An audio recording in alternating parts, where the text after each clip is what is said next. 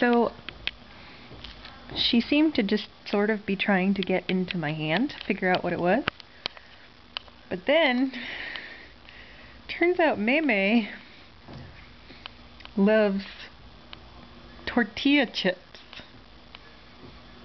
Oh, she's not, oh, there, yeah. She's being more careful. The first one, she just tore through like nobody's business.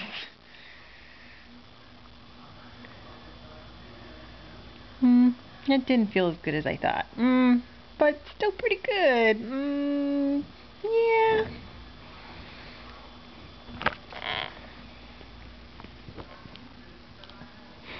She seems interested in the corn part, not just